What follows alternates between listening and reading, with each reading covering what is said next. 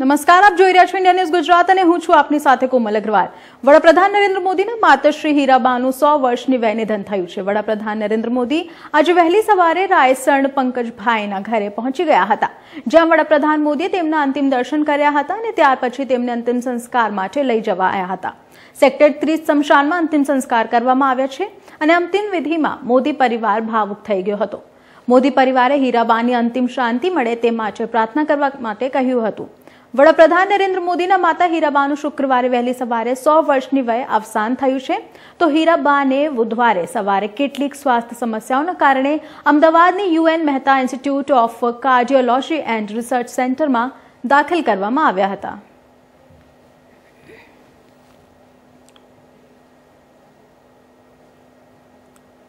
ભારત દેશના વડાપ્રધાન નરેન્દ્રભાઈ મોદીના માતશ્રી હીરાબાનું આજ રોજ સવારે અવસાન થતા તેમના માત્રે વતન એવા વડનગર ખાતે સોકરી લાગણી ફેલાઈ ગઈ છે. તો હીરાબાના અવસાન બાદ તેમના માતૃ વતન વડનગર ખાતે તેમની સાથે જેમને સમય વતાવ્યો છે, તેવા સ્ક્રીબેન પટેલ જણાવ્યું કે તેઓ સ્વભાવના ખૂબ જ સરળ અને મહેનતુ હતા અને તેમણે ભારત દેશને એક વડાપ્રધાન આપ્યા છે અને તેઓ આજે જે અવસાન થતા અમને ખૂબ જ દુઃખની લાગણી અમે અનુભવી રહ્યા છે.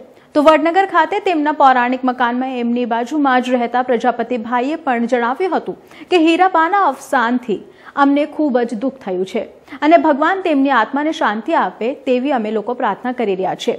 અમારા વડનગરને એક ઊંચા શિખર સુધી પહોંચાડનાર વડાપ્રધાન નરેન્દ્રભાઈ મોદીના માતશ્રી ખૂબ જ લાગણીશીલ હતા.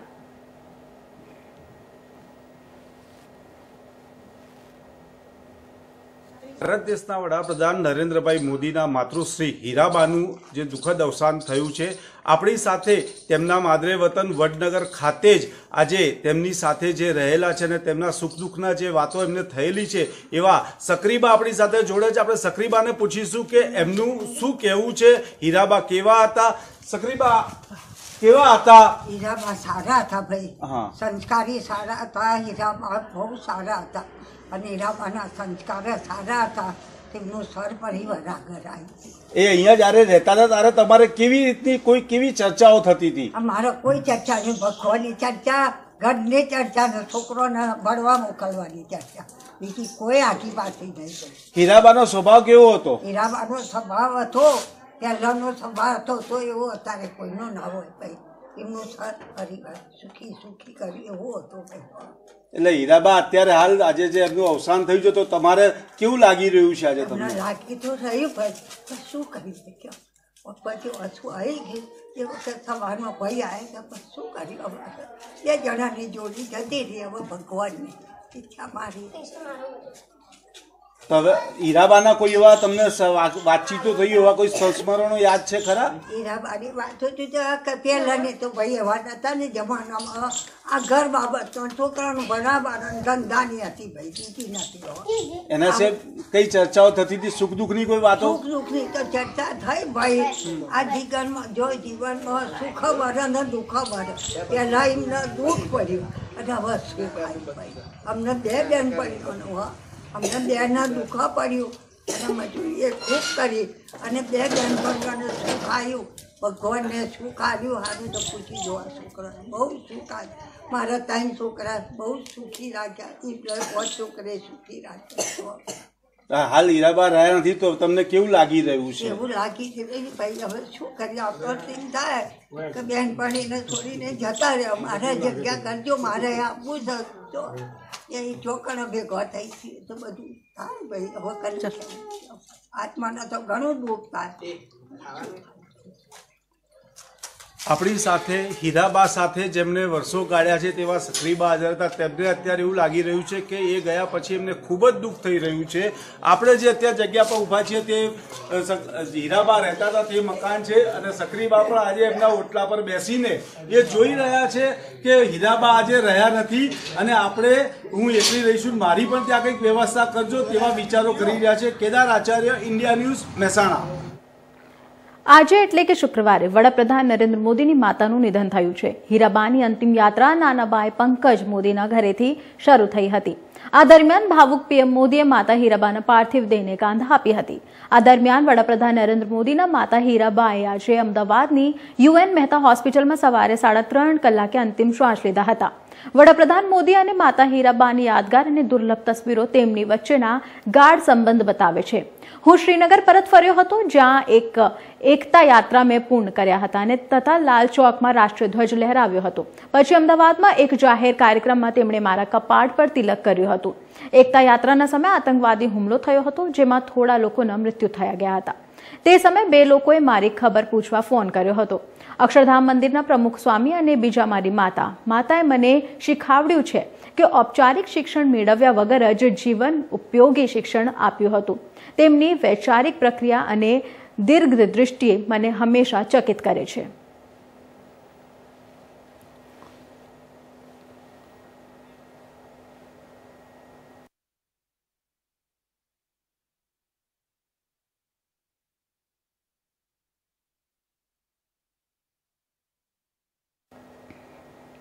વડાપ્રધાન નરેન્દ્ર મોદીના માતશ્રી હીરાબાનું સો વર્ષની વયે નિધન થયું છે. વડાપ્રધાન નરેન્દ્ર મોદીના માતા હીરાબાની તબિયત નાદુરુસ્ત થતાં તેઓને છેલ્લા એક બે દિવસથી અમદાવાદની યુએન મહેતા હોસ્પિટલમાં દાખલ કરવામાં આવ્યા હતા. હોસ્પિટલમાં તેઓની સતત સારવાર ચાલી રહી હતી અને તેમની તબિયત નાદુરુસ્ત થતાં માતાને મળવા માટે ખુદ વડાપ્રધાન નરેન્દ્ર મોદી પણ હોસ્પિટલ આવી પહોંચ્યા હતા. તદુપરાંત હોસ્પિટલે મેડિકલ બુલેટિન પણ ગઈકાલે, એટલે કે ગુરુવારે જાહેર કર્યું હતું, જેમાં તેઓની તબિયત સુધાર પણ આવી ગઈ હતી. પરંતુ આજે સવારે, એટલે કે શુક્રવારે, તેઓનું દુઃખદ નિધન થયું છે, જેની ખુદ વડાપ્રધાન મોદીએ ટ્વીટ કરીને જાણકારી આપી છે. હીરાબાએ અઢાર જૂન બે હજાર બાવીસના રોજ સો વર્ષ પૂરા કરી લીધા હતા અને છેલ્લા બે દિવસથી હોસ્પિટલમાં સારવાર હેઠળ હતા. તો વડાપ્રધાન મોદીના માતા હીરાબાને નિધન પર ટ્વીટ કરીને ખુદ શોક વ્યક્ત કર્યો અને જણાવ્યું હતું કે, અને આપણે એ પણ જણાવી દઈએ કે ગૃહમંત્રી અમિત શાહ સાથે કેટલાક દિગ્ગજ નેતાઓએ વડાપ્રધાન નરેન્દ્ર મોદીની માતાને શ્રદ્ધાંજલિ અર્પિત કરી.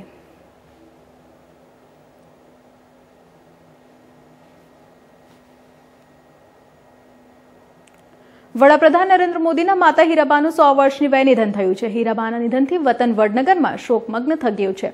તો લોકોએ હીરાબાના નિધન પર દુઃખ વ્યક્ત કર્યું છે. વડનગર સાથે હીરાબાની એક યાદો જોડાયેલી છે. તેઓ વડનગરમાં નિડર મહિલા તરીકે ઓળખાયા ધરાવતા હતા અને વડનગરના વેપારીઓ બે દિવસ બંધ પાડી તેમને શ્રદ્ધાંજલિ આપશે. મહેસાણા જિલ્લાના વડનગરના વેપારીઓ દ્વારા હીરાબાના નિધનને લઈ શ્રદ્ધાંજલિ આપવા માટે મોટો નિર્ણય લેવામાં આવ્યો છે. વડનગર હાલ હીરાબાના નિધનને પગલે શોકમગ્ન છે. તો આ તરફ વડનગરના સ્થાનિકોએ હીરાબાના નિધન પર દુઃખ વ્યક્ત કર્યો છે. મહત્વનું છે કે વડનગર સાથે હીરાબાની એક યાદો જોડાયેલી છે, જેને લઈ હવે વડનગરના વેપારીઓ બે દિવસ બંધ પાડી શ્રદ્ધાંજલિ આપશે. વડાપ્રધાન નરેન્દ્ર મોદીના માતશ્રી હીરાબાનું સો વર્ષની વય નિધન થયું છે. વડાપ્રધાન નરેન્દ્ર મોદી આજે એટલે કે શુક્રવારે વહેલી સવારે રાયસણ પંકજભાઈના ઘરે પહોંચી ગયા હતા, જ્યાં વડાપ્રધાન નરેન્દ્ર મોદી તેમના અંતિમ દર્શન કર્યા હતા અને ત્યાર પછી તેમને અંતિમ સંસ્કાર માટે લઈ જવા ગયા હતા. સેક્ટર ત્રીસ શમશાનમાં અંતિમ સંસ્કાર કરવામાં આવ્યા હતા અને અંતિમ વિધિમાં મોદી પરિવાર ભાવુક થઈ ગયો હતો. મોદી પરિવારે હીરાબાનીએ આત્માને શાંતિ મળે તે માટે પ્રાર્થના કર્યું હતું.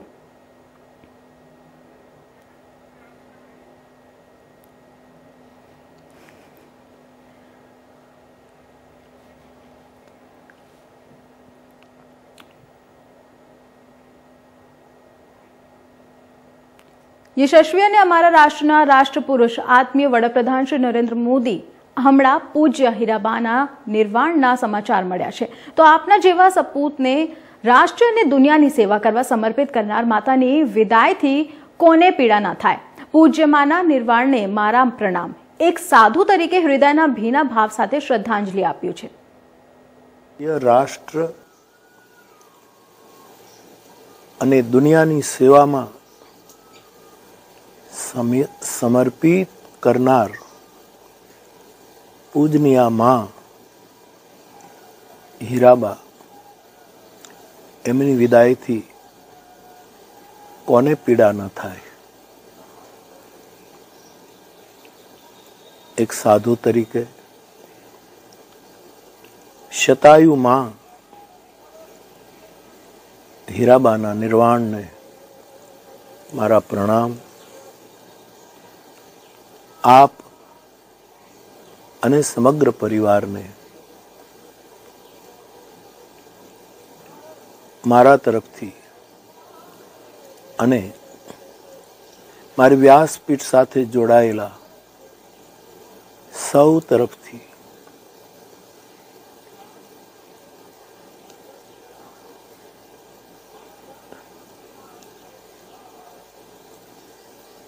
દિલસોજી પાઠવું છું.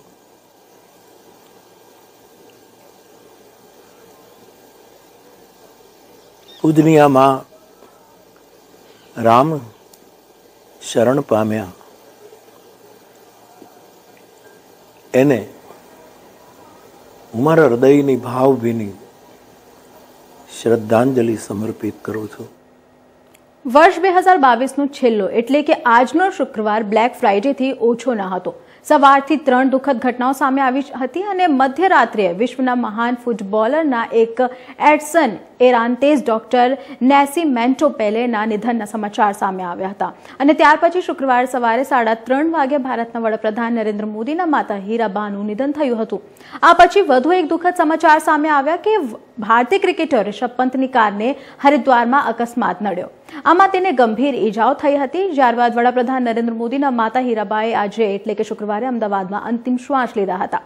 શુક્રવારે સવારે સાડા ત્રણ કલાકે અમદાવાદની યુએન મહેતા હોસ્પિટલમાં તેમનું નિધન થયું હતું. અને હીરાબાને મંગળવારે હોસ્પિટલમાં દાખલ કરવામાં આવ્યા હતા. તેમને શ્વાસ લેવામાં તકલીફો પડી રહી હતી અને ગાંધીનગરના શમશાન ભૂમિ ખાતે હીરાબાના અંતિમ સંસ્કાર કરવામાં આવ્યા હતા. વડાપ્રધાન નરેન્દ્ર મોદીના માતાના પાર્થિવ દેહને અગ્નિદાહ આપ્યો હતો અને આ પહેલા વડાપ્રધાન મોદીએ પણ મૃતદેહને કાંધા આપી હતી. ભારતીય ક્રિકેટર રિષભ પંતની કારને અકસ્માત નડ્યો છે. આમાં તેને ઘણી ઈજાઓ થઈ છે. શુક્રવારે વહેલી સવારે દિલ્હીથી રૂટકી જતી વખતે ગુરુકુલ નર્સન વિસ્તારમાં અકસ્માત થયો હતો. રિષભ પંતની કાર ડિવાઈડર સાથે અથડાઈ હતી. આ અકસ્માત બાદ તેમની કારમાં જોરદાર આગ ફાટી નીકળી હતી. અકસ્માત બાદ પંતને હોસ્પિટલમાં દાખલ કરવામાં આવ્યા હતા. તો આપણે જણાવી દઈએ કે ડોક્ટરોના જણાવ્યા અનુસાર રિષભ પંતના પગમાં ગંભીર ઈજાઓ થઈ છે. તેની પ્લાસ્ટિક સર્જરી થશે અને સૂત્રોના જણાવ્યા અનુસાર પંતને મેક્સ દહેરાદૂન રેફર કરવામાં આવ્યા છે. પંતની કારને ખરાબ રીતે નુકસાન થયું છે અને ભારતીય સ્ટાર ક્રિકેટરની કેટલીક તસવીરો પણ સામે આવી છે, જેમાં ગંભીર ઈજાઓ દેખાઈ રહી છે. બ્રાઝિલના ફૂટબોલર એડસન એરાન્તેઝ ડોક્ટર નેસી મેન્ટો પેલેનું બ્યાસી વર્ષની વય નિધન થયું છે અને પેલેને પુત્રી કેલે એક ઇન્સ્ટાગ્રામ દ્વારા તેમની મૃત્યુની માહિતી આપી છે. તો આપણે જણાવી દઈએ કે વીસમી સદીની મહાન ફૂટબોલર પેલેનું આજે નિધન થયું છે.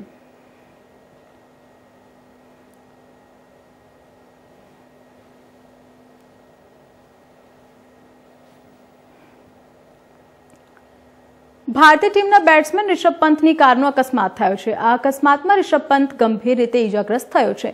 પંત જ્યારે દિલ્હીથી તેના ઘરે આવી રહ્યો હતો અને ત્યારે આ અકસ્માત સર્જાયો હતો. અકસ્માત બાદ તેને ત્યાંની હોસ્પિટલમાં દાખલ કરવામાં આવ્યો હતો. ત્યારબાદ તેને તુરંત જ રૂડકીથી દિલ્હી રેફર કરવામાં આવ્યો છે. મળતી માહિતી મુજબ, પંતની હાલત સ્થિર છે. મીડિયા અહેવાલો અનુસાર પંતની કાર રૂડકીના નાર્સન બોર્ડર પર હમ્મદપુર ઝાલ પાસે રેલિંગ સાથે અથડાઈ હતી અને ધડાકાભેર અથડાઈ હતી. આ અકસ્માત બાદ કારમાં આગ ભૂમકી ઉઠી હતી અને કારમાં લાગેલ આગ એટલી ભયાનક હતી કે કાર બળીને રાખ થઈ ગઈ હતી. આ અકસ્માતમાં રિષભ પંત ગંભીર રીતે ઇજાગ્રસ્ત થયો છે અને તેના માથા અને પગમાં ગંભીર ઇજાઓ પહોંચી છે. પંતની પીઠ અને ખાંબામાં પણ ઇજાઓ થઈ છે. પોલીસ, પોલીસના જણાવ્યા અનુસાર રિષભ પંતની હાલત સ્થિર છે અને ફાયર બ્રિગેડની ટીમો આગ પર કાબુ મેળવ્યો હતો. પરંતુ આગ કાબુમાં આવે ત્યાં સુધી કાર સંપૂર્ણ રીતે બળીને ખાક થઈ ગઈ હતી. આ અકસ્માતની જાણ થતાં જ આસપાસના લોકો ઘટના સ્થળે દોડી આવ્યા હતા અને તરત જ પોલીસને જાણ કરી હતી. જાણકારી મળતા જ પોલીસ ઘટના સ્થળે પહોંચી ગઈ હતી અને પંતને દિલ્હી રોડ પરની ખાનગી હોસ્પિટલમાં દાખલ કરવામાં આવ્યો હતો.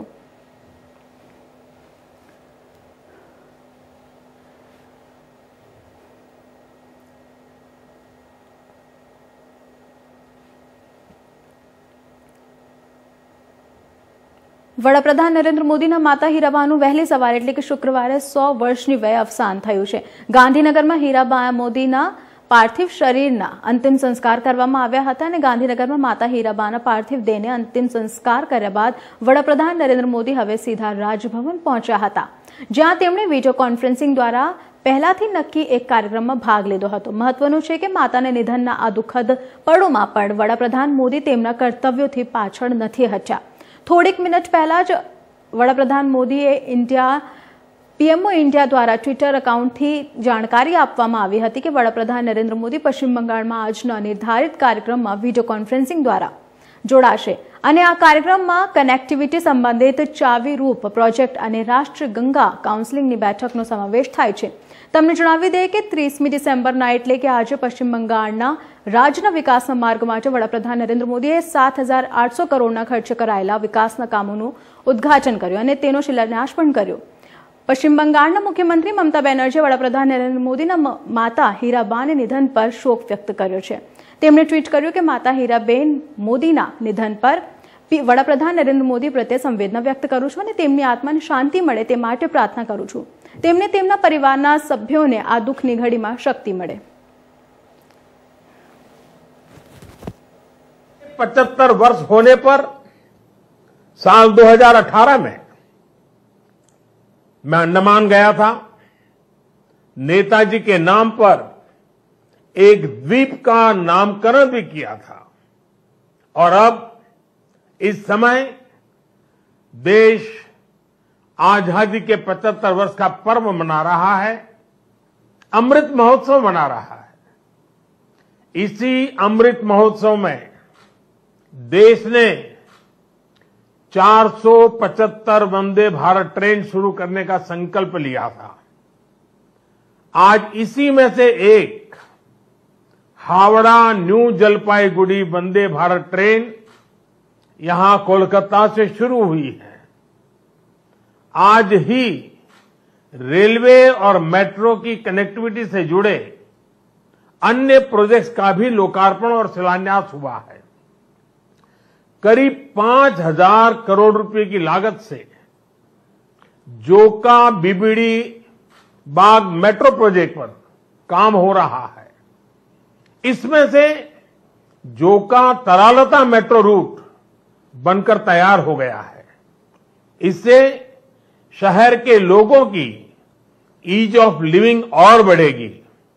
साथियों, कुछ देर बाद ही मुझे गंगा जी की स्वच्छता और पीने के पानी से जुड़ी अनेक परियोजनाएँ पश्चिम बंगाल को सौंपने का अवसर मिलेगा।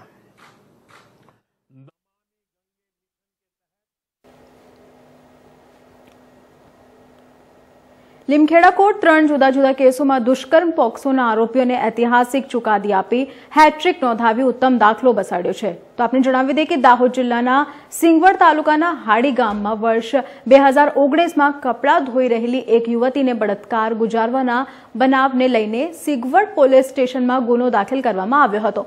જે કેસ એડિશનલ ડિસ્ટ્રિક્ટ કોર્ટ લીમખેડામાં ચાલી જતા અને મદદનીશ જિલ્લા સરકારી ડિસ્ટ્રિક્ટ કોર્ટના સરકારી વકીલ એસ બી ચૌહાણની ધારદાર દલીલને ગ્રામ રાખી લીમખેડા એડિશનલ ડિસ્ટ્રિક્ટ કોર્ટના જજ પી એસ પરમાર દ્વારા બળાત્કારના આરોપીઓને દસ વર્ષની સખત કેસની સજા તેમજ પચીસ હજાર રૂપિયા દંડ ફટકારવામાં આવ્યો હતો. તો આપને જણાવી દઈએ કે જાણકારી મેળેલા છે અને એડિશનલ સેશન કોર્ટ લીમખેડા દ્વારા છેલ્લા એક માસમાં ત્રણ જેટલા બળાત્કારના ગુનાના આરોપીઓને સજા ફટકારવામાં આવી છે. ગુનાઓમાં ફટકાર વ્યાપી જવા પામેલ હોવાનું જણાવ મળે છે અને જ્યારે સિંગવડ તાલુકાના હાડી ગામમાં બારિયા ફળિયામાં રહેતા સંજયભાઈ જ્યોતિભાઈ બેરિયા ગત ચૌદ માર્ચના રોજ બે હજાર ઓગણીસના રોજ એક હેન્ડપંપ ઉપર કપડાં ધોઈ રહેલી યુવતીને બૂમ પાડી અહીંયા આવવા અને એમ જણાવતા યોગ્ય કામ સંબંધી હોય અને કામ હશે તેમ લાગતા યુવતી તેના ઘરના નજીક ગઈ હતી અને તેવા વખતે સંજય બારિયા યુવતીનો હાથ પકડી દિનેશ લાખા બારિયાના સૂના ઘરમાં ખેંચી ગયેલા અને તેમની સાથે બળજબરંત તેમનો બળાત્કાર કર્યો હતો. મારું નામ એસ એસ બી ચૌહાણ મદદની જિલ્લા સરકારી વકીલ, એડિશનલ ડિસ્ટ્રિક્ટ કોર્ટ લીમખેડા આજ રોજ એડિશનલ ડિસ્ટ્રિક્ટ કોર્ટ ના મહેરબાન જજ શ્રી બી એસ પરમાર સાહેબના હોય, એક આરોપીને એક આરોપી કે જેણે ભોગ બનનાર તેના ઘર આગળ હેડપંપ ઉપર કપડાં ધોતી હતી, તેણે ત્યાંથી બોલાવી તેના કુટુંબી ભાઈએ તેણીને અપહરણ લઈ જઈ અને એક સુના મકાનમાં લઈ જઈ, તેની ઉપર તેની ઈચ્છા વિરુદ્ધ બળાત્કાર સંભોગ કરી, ગુનો કરી અને જો આ કેસ, આ વાત કોઈને કહીશ તો તેણીને મારી નાખીશ તેવી ધાક ધમકી આપી ભાગી ગયેલો. જેનો કેસ જેનો ફરિયાદ દાખલ કર- કરતા તેનો કેસ ચાલી જતા આજ રોજ નામદાર કોર્ટે આરોપી સંજયભાઈ જ્યોતિભાઈ બારિયા, રહેવાસી હાંડી તાલુકા સિંગોડનાઓને ઈપીકો કલમ ત્રણસો છોતેરમાં દસ વર્ષ અને પચીસ હજાર રૂપિયાનો દંડ અને પોક્સો એક્ટની કલમ ચારમાં દસ વર્ષની સજા અને પચીસ હજાર રૂપિયાનો દંડ ભરવાનો આદેશ કરેલો છે. અને ભોગ બનનારને વિક્ટીમ કોમ્પન્સેશન એક્ટ સ્કીમ હેઠળ બે લાખ રૂપિયાનું વળતર ચૂકવવાનો નામદાર કોર્ટે ઓર્ડર કરેલો છે અને દંડની રકમ આરોપી ભરે તેનો અપીલ સમય પૂરો થયા બાદ આ દંડની રકમ ભોગ બનનારને ચૂકવી આપવાનો નામદાર કોર્ટે ચુકાદો આપેલ છે. આ અગાઉ થોડા ગયા, હમણાં ત્રણ ચાર દિવસ ગયા સોમવારે એક આરોપીને નામદાર કોર્ટે વિવિધ કલમો હેઠળ કુલ સિત્તેર વર્ષની સજા કરેલી છે અને એના દસ દિવસ પહેલાં નામદાર કોર્ટે વિવિધ કલમો હેઠળ પોક્સોના આરોપીને પચાસ વર્ષની વિવિધ કલમો હેઠળ સજા કરેલી છે. અને આમ કહીને નામદાર કોર્ટે એક સમાજમાં દાખલારૂપ થર્ટી ફર્સ્ટ ડિસેમ્બરને લઈ ગીર સોમનાથ પોલીસનો દીવ ચેકપોસ્ટ પર ચુસ્ત બંદોબસ્ત ગોઠવવામાં આવ્યો છે. દીવની દીવથી પઘેલાને દારૂ ઉતારવા પોલીસનો સઘન ચેકિંગ કરવામાં આવી રહ્યું છે. બે હજાર બાવીસને બાય બાય અને બે હજાર ત્રેવીસને વેલકમ કરવા દીવમાં થર્ટી ફર્સ્ટને લઈ પ્રવાસીઓનો જમાવડો થઈ રહ્યો છે. હજારોની સંખ્યામાં સહેલાણીઓ દીવમાં આવી રહ્યા છે અને દારૂ બિયરની મોજ માણી રહ્યા છે. એક તરફ પ્રવાસીઓ દીવ આવવાની તૈયારી કરી રહ્યા છે, તો બીજી તરફ પોલીસે પણ તૈયારી કરી લીધી છે. દીવથી ડ્રિંક કરી ગુજરાતમાં આવતા વાહન ચાલકો અકસ્માતો સર્જી રહ્યા હતા. સર્જી રહ્યા છે અને એટલું જ નહીં, દારૂ પણ ઘુસાડતા હોય જેને લઈ ગીરની પોલીસ સજ્જ બની ગઈ છે. અને દીવને જોડાતા ઉનાના તળને માંડવી ચેકપોસ્ટ પર પોલીસ બાજ નજર રાખી રહી છે. અહીંથી પસાર થતી વાહનોનું સઘન ચેકિંગ કરવામાં આવી રહ્યું છે. ડ્રિંક કરી ડ્રાઈવ કરતા લોકોનું ચેકિંગ કરવામાં આવી રહ્યું છે. ગીર સોમનાથ જિલ્લામાં એ દીવ સાથે આંતરરાષ્ટ્રીય બોર્ડર સાથે જોડાયેલું છે. ત્યાં અમારી જે ચેકપોસ્ટ આવેલી છે, એ ચેકપોસ્ટ ઉપર એકત્રીસમી ડિસેમ્બર અને નવા વર્ષના અનુસંધાને આખા ગુજરાતમાંથી તેમજ બહારથી પણ પ્રવાસીઓનો પુષ્કળ ઘસારો છે. અને એમ એમ પણ ગીર સોમનાથ જિલ્લો પ્રવાસન જિલ્લો છે. તેથી હાલમાં પ્રવાસીઓ પુષ્કળ સંખ્યામાં આવી રહ્યા છે. જે અનુસંધાને તમામ લો ઓર્ડરની પરિસ્થિતિ જળવાય અને હાલમાં આ જે પ્રોહિબિશન છે એ પ્રવૃત્તિ પર સતત કંટ્રોલ રહે એ માટે પોલીસ હાલમાં પૂરતું ચોક્કસ છે. તેમજ તમામ જે ચેકપોસ્ટો છે ચેકપોસ્ટો પર અ, પોલીસ સઘન ચેકિંગ કરવામાં આવે છે. જે અનુસંધાને હાલમાં એસપી સાહેબની સૂચના અને માર્ગદર્શન મુજબ અમારી અલગ અલગ ટીમો પણ એક્ટિવ છે અને તમામ પરિસ્થિતિને પહોંચી વળવા માટે હાલમાં પોલીસ સજ્જ છે. હાલમાં જે ચેકપોસ્ટો કાર્યરત છે, એ તમામ ચેકપોસ્ટો પર બ્રીથ એલેનાઇઝરનો પણ ઉપયોગ કરવામાં આવે છે. જેના દ્વારા ડ્રિંક એન્ડ ડ્રાઈવના કેસો પર પોલીસ લગામ લગાવી શકે અને આવા જે પણ ઈસમો છે, એના પર એની ધરપકડ કરી શકે અને જે વાહન અકસ્માતના કેસો છે એ ન બને તેના માટે પૂરતી કાળજી રાખવામાં આવે છે. જૂનાગઢ તાલુકાના સુખપુર ગામના લોકો મોટી સંખ્યામાં બહુમાળી ભવન ખાતે એકઠા થયા હતા. સુખપુર ગામના લોકોની માંગ હતી કે જુડા અંતર્ગત જે ટીપી સ્કીમ લાગુ કરવામાં આવી રહી છે, તેમનો તેને વિરોધ કર્યો છે. તો ટીપી સ્કીમ લાગુ કરવાથી ખેડૂતોને મોટું નુકસાન થવાની ભીતિ છે. જે અંતર્ગત આજે સુખપુર ગામના લોકોએ બહુમાળી ભવન ખાતે નારા લગાવી પોતાનો વિરોધ વ્યક્ત કર્યો હતો. ઉલ્લેખનીય છે કે જવાબદાર તંત્ર દ્વારા સુખપુર ગામના લોકોને જાણ કરાઈ છે અને વીસ દિવસની અંદર તેઓએ પોતાની વાંધા અરજી રજૂ કરવી છે. તો જો વીસ દિવસની અંદર કોઈ પણ પ્રકારની વાંધા, અરજી રજૂ કરવામાં ના આવે, તો જવાબદાર તંત્ર દ્વારા સુખપુર ગામના ટીપી સ્કીમને લાગુ કરી દેવામાં આવશે. તેવું તંત્ર દ્વારા જણાવવામાં આવ્યું હતું. ભાઈ રામજીભાઈ ગજેરા, સુખપુરનો રહેવાથી સુખપુરમાં ખેતી કરીને અમે રહીએ છીએ. જુનાગઢ મહાનગરપાલિકા દ્વારા પહેલાં તો સુખપુરને અમારે જુનાગઢ જુડામાં ભેળવું. બે હજાર પંદરે અમારો વિરોધ હતો. એ- એમાં અમને સમાવેશ કર્યા અમારા વિરોધ અમે કોઈ ધ્યાન ના આપ્યું. બે હજાર એકવીસની અંદર એને નગર રચના યોજના અંતર્ગત ટીપી પ્લાન નવ તરીકે સુખપુરમાં જાહેર કર્યો, ઈરાદો જાહેર કર્યો. ત્યારે અમે બે હજાર એકવીસમાં દસમા મહિનામાં વિરોધ કરેલો. એ બાબત પણ ધ્યાનમાં લીધા વગર હવે એને ટીપી પ્લાન નવ સુખપુરમાં સંપૂર્ણ લાગુ થઈ જાય એ રીતનું જાહેરનામું બહાર પાડી. તારીખ બાર તારીખે જાહેરનામું બહાર પાડી વીસ દિવસની અમને વાંધારજીની મુદત આપેલી છે. જી, જે યોજના અમે અધિકારીઓ પાસે સમજતા ખાલી માત્ર અમને એટલું કહી દઈએ કે તમારી ચાલીસ ટકા જમીન કપાય. તમને ડેવલપ કરી દેવા આવશે. અમને જ્યારે સાચી માહિતી મળી, ત્યારે અમારી ચાલીસ ટકા જમીન કપાત તો થાય જ છે. એના અમે ટોટલી ડેવલપિંગ ખર્ચ હવે ટીપી નવનો જે ખર્ચ લાગે છે કે ઓછામાં ઓછો બસો ત્રણસો કરોડનો ખર્ચો એ ટોટલી અમારા ખેડૂત પાસે વસૂલ કરી. અને વિકાસ કરવા માગે છે. ખેડૂતની જમીન ચાલીસ ટકા કપાઈ જાય. એના આજીવિકાની જે આખી સિસ્ટમ મળવા મુજબ વળતર જે વળતર મળે અને પછી એને જે ડેવલપ કરવો એ કરે. એમાં અમારો કોઈ વિકાસની અંદર વાંધો લેવાનો અમારે હક નથી. પણ અમારી જમીન, અમારા પૈસા અને એનો વિકાસ દેખાડવો છે એ કોઈ કાળે શક્ય અમે થવા દેશું નહીં. તો હાલ સમાચારમાં આટલું જ. વધુ સમાચાર માટે જોતા રહો ઇન્ડિયા ન્યૂઝ ગુજરાત. ગુજરાતની ધડકન. નમસ્કાર.